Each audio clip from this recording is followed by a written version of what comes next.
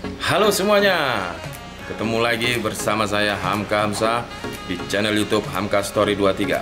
Jangan lupa subscribe ataupun pencet tombol lonceng agar mengetahui update-update video terbaru dari saya. Hari ini kegiatan saya adalah latihan di Stadion Kanjuruan Kabupaten Malang. Sebelum kita ke stadion, saya akan mampir dulu ke salah satu pemain Arema FC, yaitu Johan Ahmad Alfarisi. Apakah dia ada di rumah atau dia ada di Barber 87 milik John Alfarisi? Gaskan dia. Sukun, di mana area ini adalah rumah dari salah satu pelatih Arema FC, yaitu pelatih kiper.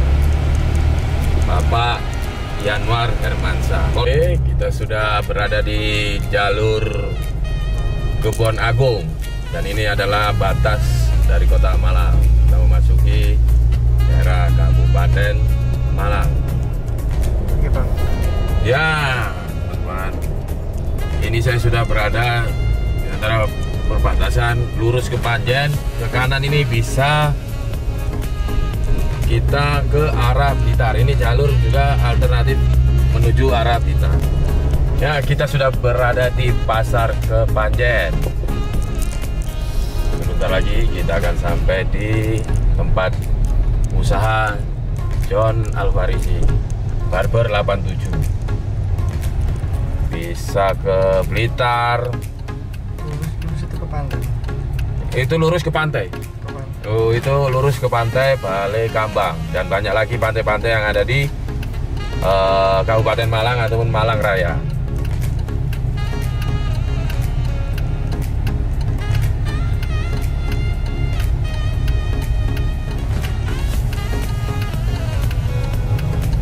Kalau tidak salah ini salah satu juga kabupaten terbesar di Indonesia ya.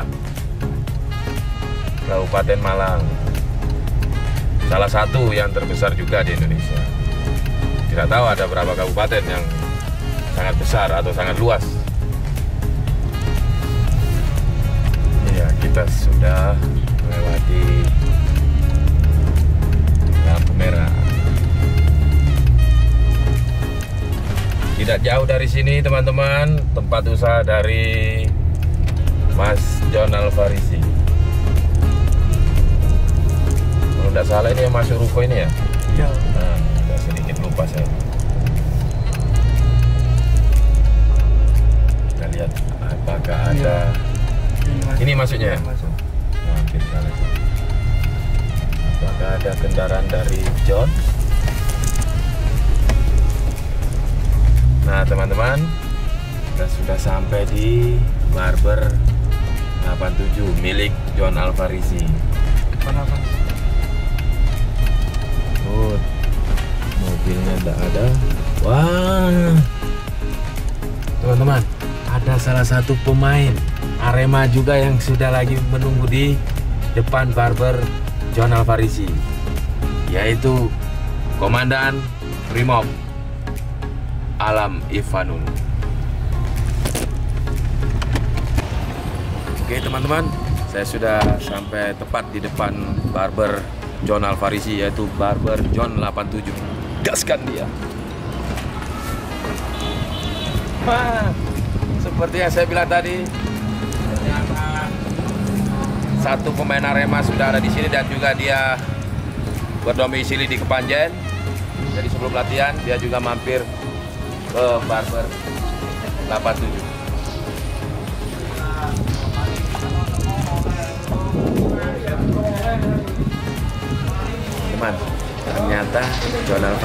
Ada di dalam. Berarti feeling saya tepat.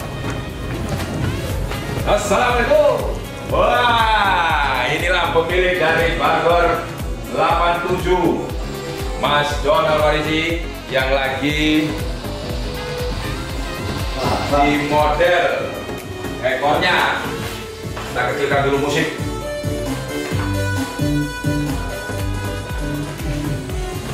Ini ekor kelapa dari Mas John Alvarisi. Ah.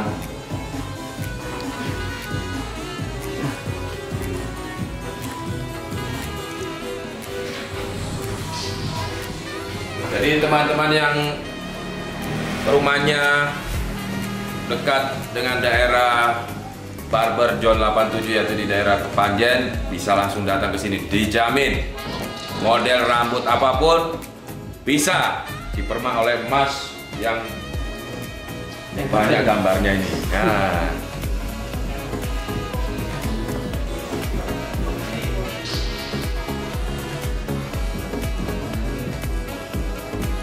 Nah, di tempat Mas John Alvarisi juga ada tukang cukur harian.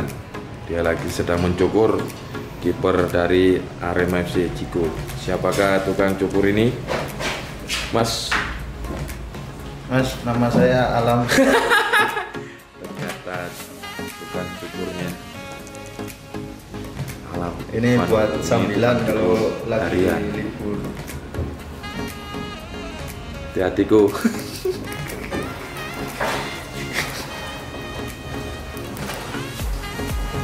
Ini tipis samping ya, Mas? Oh. Iya, sembarang nih. Yo, tenan iki, Mas. Gua nggak salah ya aku.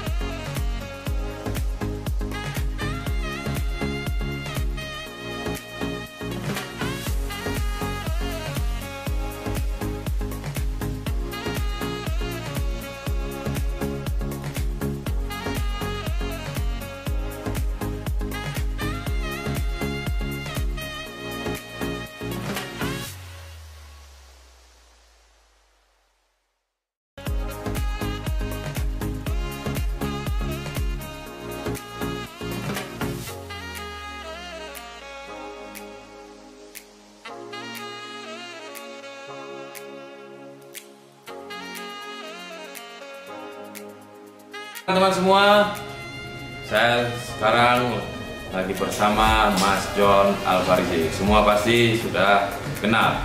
Mas John adalah salah satu pemain sepak bola nasional dan juga sekarang bermain di Arema FC. Mas John ini salah satu sahabat dari saya ataupun saya sudah anggap adik di mana karakter Mas John di lapangan yang begitu keras, begitu disiplin, tetapi di luar beliau, beliau jarang untuk berbicara, hanya perlu-perlu saja. Hari ini kita akan buka-bukaan bersama Mas John Alvarisi. Selamat siang Mas John. Saya akan memberikan beberapa pertanyaan kepada Mas John Alvarisi awal mula menjadi seorang pemain sepak bola dan juga eh, membuka usaha di luar sepak bola. Saya ingin bertanya pertama awal karir atau awal bermain bola Mas John ini di mana? pertama di SSB Jatigui di desa di kampung Nah, kampung Mas John ataupun asli Mas John adalah di Gunung Kawi ya? bukan Gunung Kawi istri Oh, saya salah. Saya salah teman-teman. Maaf, saya sedikit ateng. so tahu kan? Asli Mas John sebenarnya di mana? Jatigui Jadi Ku itu masuk daerah di Kecamatan Sumberjo Kabupaten Malang Kabupaten Malang. Oh, mengawali karir sepak bola di SSB, kemudian pindah ke Kepanjen SSB ANS AMR. terus mengikuti Akademi Arema Mengikuti akademi ini menarik, ini menarik. Mas John ini salah satu dari tiga pemain Arema yang ada saat ini adalah lulusan dari akademi Arema FC. Itu usia berapa masuk ke akademi? kalau nggak salah itu 17 atau 18 tahun kan 17 atau 18 tahun. Itu bersama kalau tidak salah Dendi, jadi Sunarto Sunarto. Oh, Setelah itu naik ke senior ke senior tahun lupa pokoknya mungkin sekarang 9 tahunan 9 tahun. Jadi buat teman-teman khususnya di Malang Raya, apabila ingin kalian, apabila ingin menyalurkan eh, kemampuan kalian bisa masuk ke SSB ataupun wadah Arema atau Akademi Arema FC. Semoga talenta-talenta kalian bisa terlihat ketika masuk ke Akademi Arema. Awal mula masuk ke tim senior itu pelatih siapa waktu itu? waktu itu Robert Oh sempat sempat juara berarti ya? Ya, waktu itu masih magang. Masih magang bersama Dendi Sunarto. Jadi Sunarto. Berarti prestasi Mas John juga ini walaupun magang bisa disebut beliau mendapatkan satu piala Kali. untuk Liga Indonesia tahun 2009. Ya, 2009 2010 karena 2010 saya juara ya. Nah, sempat keluar dari Arema kalau tidak salah tahun 2013 sempat keluar eh, karena Persija menginginkan mungkin ya atau eh, bagaimana itu? Itu karena apa itu saya ingin mendapatkan kesempatan bermain. Mendapatkan Nah, ini juga salah satu kalau bisa disebut pemain paling setia di Arema bersama Denny dan Sunarto. Eh, Mas John keluar bukan karena tidak ingin lama di Arema, tetapi ingin mendapatkan kesempatan agar nanti kembali ke Arema dia sudah mendapatkan posisi inti di bek kiri.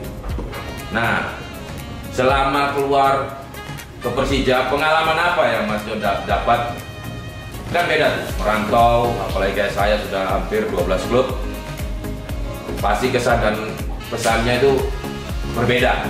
Apa yang Mas John dapatkan selama bermain di Persija? Itu mendapat pengalaman beradaptasi sama teman-teman di luar, sama lingkungan di luar, beda sama di daerah sendiri. Harus belajar beradaptasi sama teman-teman di luar dan di daerah itu yang kita tuju. Nah, berpindah-pindah klub ataupun berpindah klub itu bukan hanya soal materi, tetapi soal bagaimana kita bisa mengetahui karakter teman-teman kita masing atau karakter orang masing-masing. Karena berbeda klub pasti berbeda karakter pemain. Nah, ketika sudah mendapatkan uh, menit bermain banyak di Persija, akhirnya Mas John kembali lagi ke Arema di tahun 2014. Di situ sudah mulai dapat posisi bek kiri sudah mensegel lah istilahnya ya. Sudah mensegel posisi bek kiri sampai tahun 2019 posisi bek kiri di Arema masih dimiliki oleh Mas John Alfarisi.